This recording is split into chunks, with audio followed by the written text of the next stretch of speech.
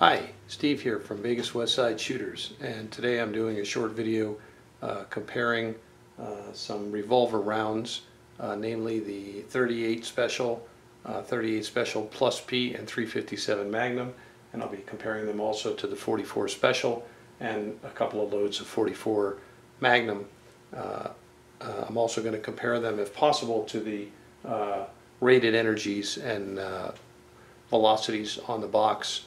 Uh, some of these uh, have a nice chart and, and uh, some of them have the velocities and the muzzle energy printed on the box and I'm interested to see how true that is. And for example, take a look at the Sig Sauer uh, 38 Special FMJ 125 grain round. I don't know if this is going to show up in the camera, but it basically says the muzzle velocity is 900 feet per second and 225 uh, foot-pounds of energy. So that's that's put right on the box on SIG. Uh, some of the others, uh, MagTech, which is some of the 357 rounds, they have a uh, unbelievably small, indecipherable uh, chart on the back, uh, which I, I'm I'm going to take a very close look at with some some sort of magnifying device to see if I can figure out which they're rating this round as to see if that lives up. So we're going to be looking at the SIG uh, 38 Special 125 grain full metal jacket. We're going to be shooting the Remington 38 Special Plus P hollow point. Uh, so that's a 38 Special Plus P. It ought to have uh, better muzzle velocity and more energy at the muzzle, but we shall see. This is the Magtech 357, also 125 grain full metal jacket. Uh, and we'll see if this hotter load does better. I'm also going to be shooting the Arms Armscor 357. This is a heavier bullet. This is 158 grain uh, full metal jacket and it's also sort of interestingly more of a rounded nose uh, compared to the uh, Magtech 357 which is more of a flatter nose. Not sure how that's going to affect the muzzle velocity, probably not very much. We have the uh, HSM uh, Cowboy Action 44 Special, which is a round nose flat point uh, lead bullet, and this is uh, 200 grains. That's a pretty good sized bullet there. That's a 200 grainer. We'll be shooting that out of the 44 Magnum uh, Smith & Wesson 629 model. Uh, and then we have the 44 Magnum 240 grain uh, flat nose. That is also from HSM. It's Cowboy Action. And in addition, we have the Winchester uh, 44 Remington Magnum jacketed soft point 240 grain. This is the deer and black bear load. Uh, so uh, we'll see that's obviously at least partially uh, jacketed in copper. Anyway, we're going to take these out to the range in the morning uh, and give them a go in those revolvers and we're going to measure uh, the muzzle velocity and then we'll calculate the muzzle energy and for the ones that have the uh, printed data I will compare whether we got the stated velocity and energy and then I'll be interested to compare them to each other and see what kind of energies we're getting out of these bullets. Uh, so hopefully uh, you'll stick with us. We'll tune into the range tomorrow morning and we'll see what we see. Okay so here's our setup for the measuring the foot per second and muzzle energy out of the 38 uh, slash 357 and the 44 special slash magnum. Uh, we've got our uh, uh, Caldwell ballistic precision chronometer set up uh, and we have uh, our loads ready to fire out of the two pistols. one caveat I will tell you, there will be a little bit of a difference in muzzle energy just because the Ruger 357 is a 4 inch barrel and the the uh, 44 Magnum Smith & Wesson is a 6-inch barrel, so that's going to probably give about a 100 foot per second boost to the Smith & Wesson right off the bat. Uh, but uh, we'll see what other kind of difference in energy there is uh, between these uh, varied rounds. Uh, okay, so let me get everything started up, and we're going to do some some shooting and some recording, and and then okay, we'll see. Start off with the Sig 125 grain 38 special.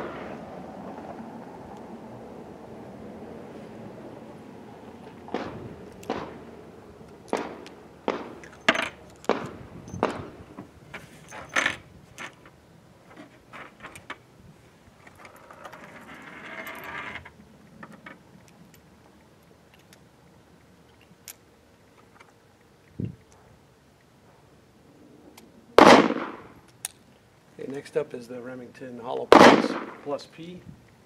I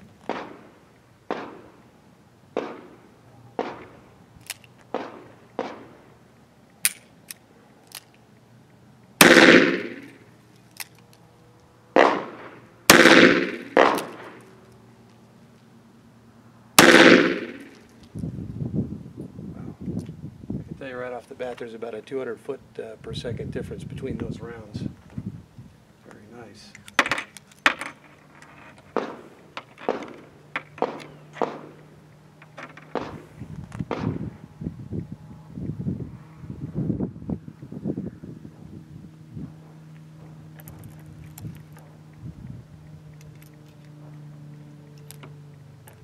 Okay, shoot the uh, MagTech. Uh, This is 125 grain, 357 Magnum.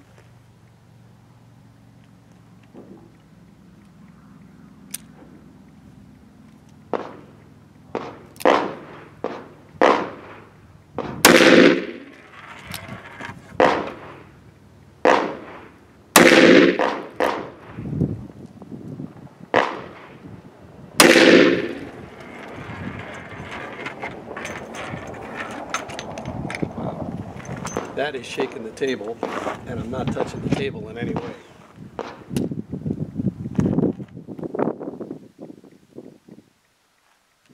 Okay.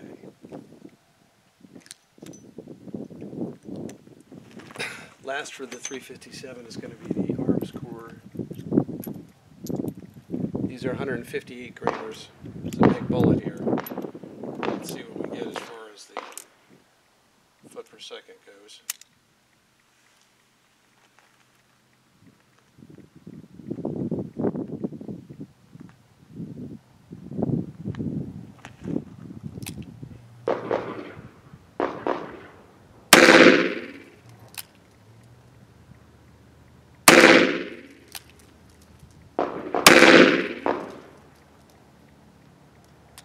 Well, had a significantly less velocity.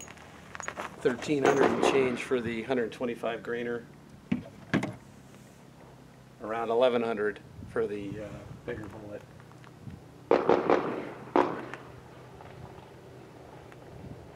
All right, let's move on to the 44 special rounds.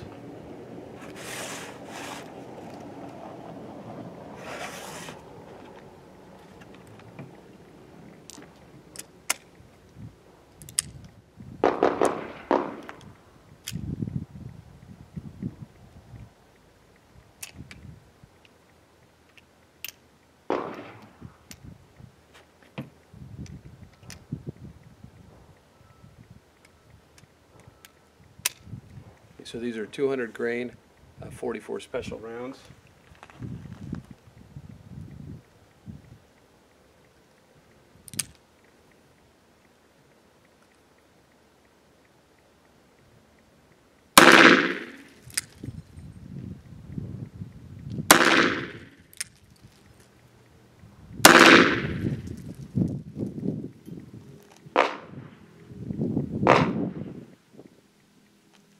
Okay, so you're talking about about 850 feet per second.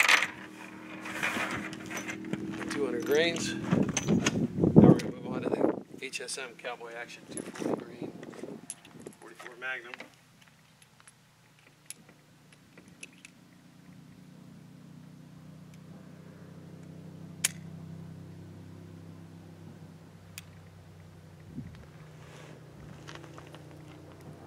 Okay,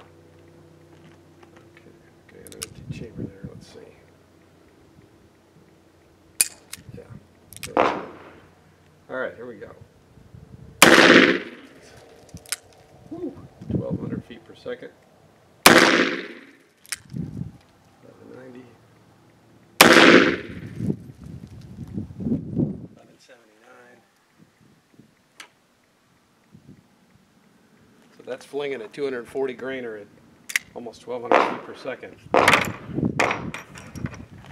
You're talking about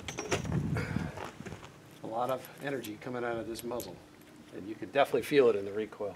All right, lastly, we're going to shoot the Winchester 44 mag, 240 grain bullet.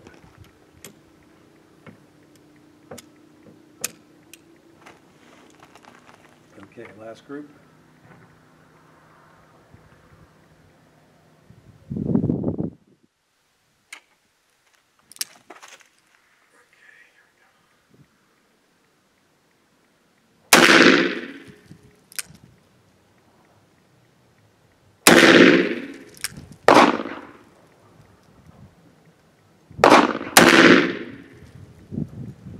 Exceeding 1,300 feet per second.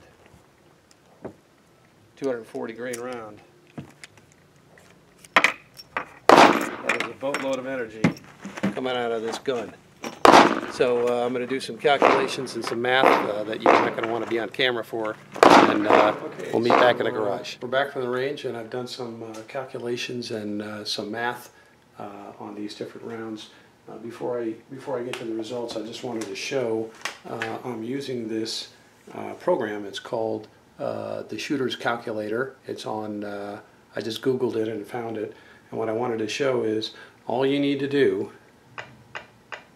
is you put the mass of the bullet, so right here it's 240 grains, you put it in grains, you put the velocity, let's say 1330 because that was one of our velocities, and it automatically calculates the energy in foot pounds or joules for our European friends out there uh, on the metric system. So um, we'll get back to this in a second, but I just wanted to show everybody how I calculated the uh, the energy from each of the rounds out of those uh, weapons.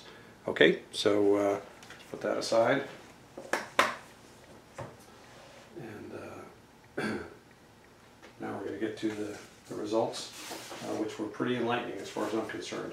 So uh, what I wanted to show here with this chart, I don't want to bore everybody to tears, but basically what I did was I took the velocities from the uh, program that we shot from the Caldwell uh, chronograph that showed uh, the feet per second, and I fired three bullets from each type of ammo, and then I recorded the uh, velocities of each three. Then I calculated an average, so I added th the three together and divided by three, and I came up with the average velocity for each round. And then I used that uh, shooter's calculator, and I put in the average velocity with the weight of the bullet, and came out with the energy in foot pounds. And and basically, what is what are the, the couple of things that I took home from this that I thought were pretty uh, surprising to me was the regular old uh, Full Metal Jacket uh, 38 Special from SIG put out a paltry 192 foot-pounds of energy. Uh, that's uh, that's not a fantastic amount of energy out of a handgun uh, or anything else. Um, what was interesting to me was when you added the plus P, same weight bullet, hollow point configuration, you're getting now 265 foot-pounds of energy, which is a pretty respectable amount of energy out of a handgun. Uh, and at a hollow point, I think I would be pretty comfortable myself in a defensive situation if I had my uh, 38 uh, special plus P rounds with hollow points. Um, I think that that would be that would be uh, very very reasonable situation. But you can also see when you go up to the 357 Magnum, uh, which is the same weight bullet, 125 grain bullet, the energy has now jumped from uh, 192 in the special, 265 in the plus P, all the way up to 499 foot-pounds of energy with the 125 grain round. And that is a very respectable amount of energy coming out of a handgun. Uh, and you can also see right under that the Armscor bullet, which was a significantly heavier bullet at 158 grains, uh, only did 415 foot-pounds of energy, so significantly less energy from the heavier bullet than the lighter bullet. And uh, that makes a lot of sense because when you calculate energy, it's one half uh, the times the mass times velocity squared. So you square the velocity and you just multiply by the mass. So the mass uh, makes less of a contribution than the velocity. So a lower mass bullet at higher velocity uh, will have a, a, significantly amount more of energy than a uh, higher mass bullet at a lower velocity, and that proved it right there. Uh, okay, and then moving on to the 44 uh, Special 44 Magnum, you can see the 44 Special rounds that's down here, which is a 200 grainer uh, coming out of the 6-inch barrel. That gave us 326 foot-pounds of energy, so more energy uh, than anything on the 38 other than the, the 357 Magnum, and it's uh, not too far off from the from the Armscor 357 Magnum. So the 44 Special has a pretty good amount of energy, but then when you move up to the 44 Magnum, the HSM 240 grainers put out 759 foot-pounds of energy. The winner today is the Winchester 44 mag uh, soft point bear load with 240 grounds that put out a whopping 943 foot-pounds of energy. So roughly uh, four and a half times what a 38 special puts out, uh, and about about double what uh, either of the 357 Magnums can put out. So the 44 Magnum, especially in the Winchester load, which is a pretty hot load, uh, puts out a tremendous amount of energy.